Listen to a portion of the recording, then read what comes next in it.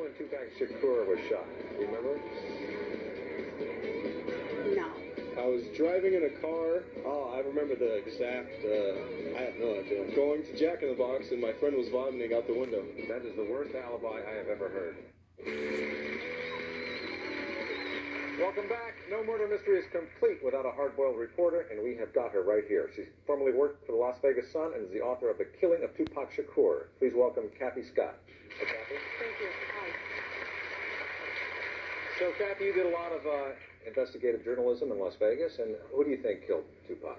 Well, I think sometimes um, things um, are not as complex as they appear. Um, you know, sometimes you boil it down and you it's, think it's very things simple. are simple sometimes? I think this is real simple. What, what's so simple? I think uh, Orlando Anderson. All uh, all evidence points to Orlando Anderson killing Tupac Shakur, and it appears as if it was a either a personal beef or um, a gang uh, rivalry. I think a gang the gang rivalry um, between between a couple of people turned into the East Coast West Coast rap war. It just got the fans carried it, the media carried it. Um, I covered this case from 5:30 a.m. in the morning. Tupac was shot. And Suge definitely had nothing to do with it. Now, Suge Knight, you know, being the the, the um, well-liked man he is by the Las Vegas and LAPD. I never know you're kidding. He, yes, but let me tell you, if there were one shred of evidence that uh, Suge Knight had anything to do with that murder, they would have indicted him in five seconds. He Well, also, nothing to do why with would Suge that. He ended up going to jail for the for the fight earlier that evening. Why, Randall, why would Suge Knight hire somebody to kill Tupac when he was sitting in the car right next to him? I, want to try to miss me, would you please? You, Yeah. there's, there's, I'll- I'll there's a lot you you. don't know about it, and, and one of something. I've been that- on the case for well, that's uh, great. Well, and a half apparently you don't seem to realize that uh, uh, Orlando Anderson, who was Suge Knight's sworn enemy, a member of a different gang, hated the guy. Appeared at Suge Knight's trial on the on the beating in Los Well, Angeles. paid him So- to go. that's right.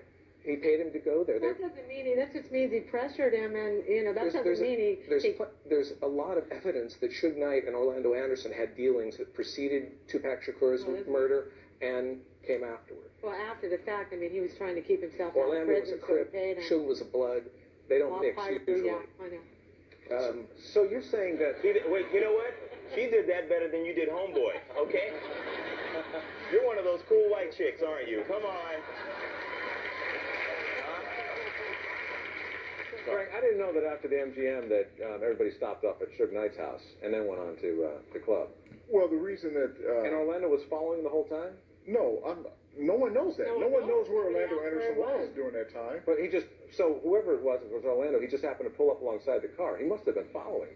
Well, he would have either had to have been following, or he would have had to have been there the whole time in order to know the route that we had taken. Yeah. Also, After being beaten up. I don't think he necessarily had to be following you guys the whole time. I think he was like, yo, when I run up on this guy again, I'm gonna blast him. And that's and I think that's what happened. So where it happened, it happened where it happened, but it could have happened any you know time that night. He was that geeked up to, to you know to handle his business. Yeah, I mean, motive. I'm yeah. sure they had a motive. by, Absolutely. by Frank Alexander because Absolutely. the, the main source of all theories that Frank's Suge not Knight. talking to any, he doesn't talk to the police. I can tell you that right now. I've got copies of Because interviews deep, with the LA with Well, they Las Vegas. stuff up all they, the did, they time. didn't make this. They don't lie. But see, Yeah. cops See, but that's the thing. That's Right, why see, but that's the thing. a problem in LA because You- cops don't lie. Did you talk to the Vegas police? anybody. I can tell you that the right. I've been on the stage Las, Las. Vegas police, I had to go speak to obviously the homicide Day detective. Excuse me, by Frank, by Frank Alexander's own account, uh, after he learned, he heard from a couple of sources that uh, Suge Knight was going to have him killed, he calls up David Kenner. I had phone calls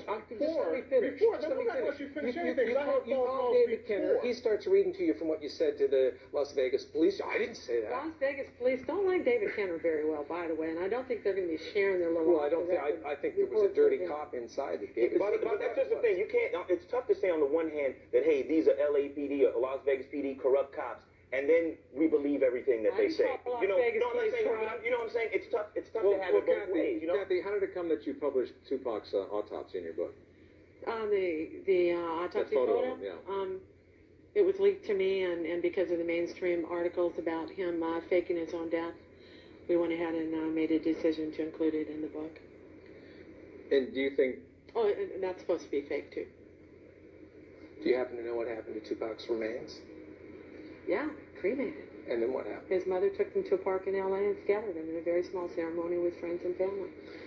Well, my understanding is that a Compton police officer named James Green transported the ashes, who was working for Death Row He took Records. him, picked them up from Davis Mortuary at um, about uh, 3 o'clock that afternoon on Saturday and hit the plane and drove back to. According, uh, according to LAPD, to- Well, what does LAPD have to do with Las Vegas?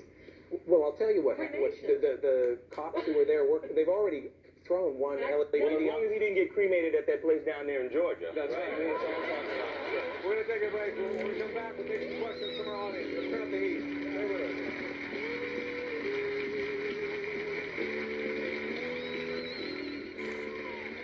Back to the zone. We're going to take some questions from the audience. But first, I have a question. Randall, um, anything you want to say that you felt like you haven't been able to say? Yeah. Yeah, I'm just going to reiterate that Frank Alexander has said two different things, and, and I understand why he's afraid. The, the two best witnesses in front of him have been killed.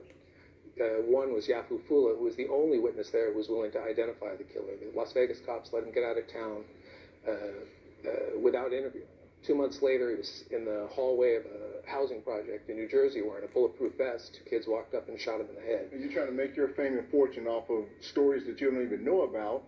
You've never even probably listened to it. I don't need to make my fame ever. and fortune off of, you know, my last why, why don't you come out with a book and an article in Rolling Stone that's a bunch of lies then? And I'll tell you this, it's really that's I gotta tell you, man, concerning Tupac. you're the liar. Tupac. You're the liar. You weren't with Tupac. You You're the liar. You don't told know two the different stories. Frank, let him, let him finish talking here. Go ahead. Frank Alexander has told two different stories. There's a record of the fact that what he said I have a book called. Got Your Back, the right stories in there. Also, in Before I Wake, there's the Well, right he's got a stories. All right, sort we're gonna, we're gonna, called- we'll be able to see that. that. But we won't be able, you don't have a video out, do you? Kumbaya, my lord.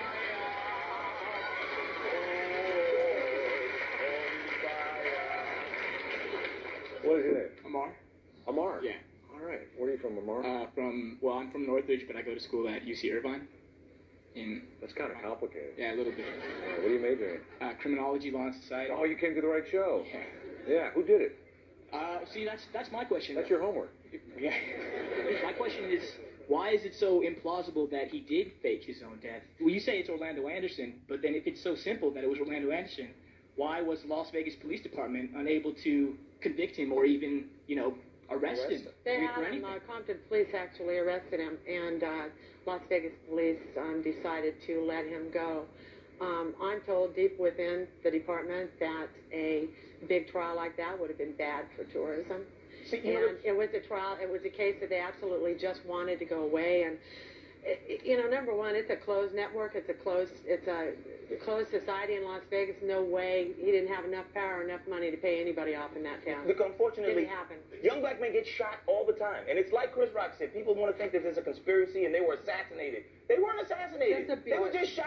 Just a Just answer one question for me, then, Chris. You tell me any other uh, celebrities, black or white, any color, who've been shot dead in public on a public street in front of hundreds of witnesses, and five years later, six years later, there's no arrest. Give me a You know, single it's- you know example in the history no, of the I, I can, I can give you. I, I'm, I'm quite sure if I looked, I could give you examples of, of everyday people that are shot down in the No, street, I'm and we don't find a about- Yeah, interview any Elvis There were impersonators? hundreds of witnesses. I agree. You know what? Far, far be it from me to think that there, there isn't anything ever funny within the within the uh, the confines of a murder investigation, particularly when you're dealing with police departments as, as, as corrupt as the LAPD. I just don't think all. Sometimes it, all these pieces just don't fit, and sometimes it is what it is. All right, well, that's our time. I'd like to thank our panel, Randall Sullivan, Chris Reed, Frank Alexander, and Cathy Scott. As always, if we make one person a little paranoid, then we've done our job. I'm Kevin Nealon, and I change my password every day. See you next time.